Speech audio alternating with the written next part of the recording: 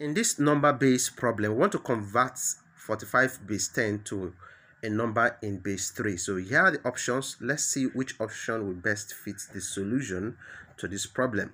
So the first thing we need to do, or one of the exciting method I want to introduce that you may be already aware of, is this. So I just have something like this where I can just fix the 45 that we're meant to convert to, to uh, a number base 3 so we have to fix the 3 here. Of course this is in base 10 already so we want to use this method or this format to get the answer. So 3 goes into 45 how many times? It should be 15 times because 3 times 15 will give you 45 and there is no remainder. So we just put remainder 0 because there's no remainder. What again can go of course you use 3 throughout the process. 3 into 15 it will go 5 times and then there's no remainder because 3 times 5 essentially give us 15 so we also put remainder 0 again 3 can also go into this 5 how many times? You could just go one times. So that is to say if it goes one times we still have remainders. So that will be remainder 2 because 3 times 1 is 3 plus 2 that will give us 5 3 can also go into 1 is it possible?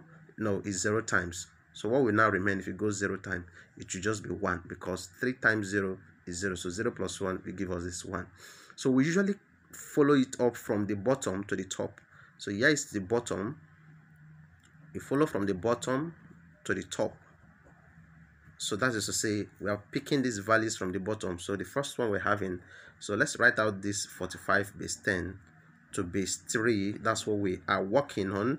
We're converting 45 base 10 to base 3 so finally 45 or let's put therefore 45 base 10 to base 3 will be equals. So from bottom we have 1 2 the next one is 0 the next one is 0 to which base? To base 3 that's what we just worked on.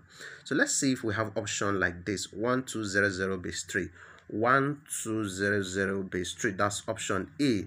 So we just tick this and that is the solution to this problem. Please like this video subscribe to my channel if you've not done that already and please turn on the notification when you subscribe so that you get notified when i post new video.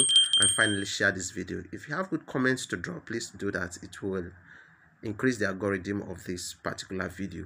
Thank you and stay tuned for the next video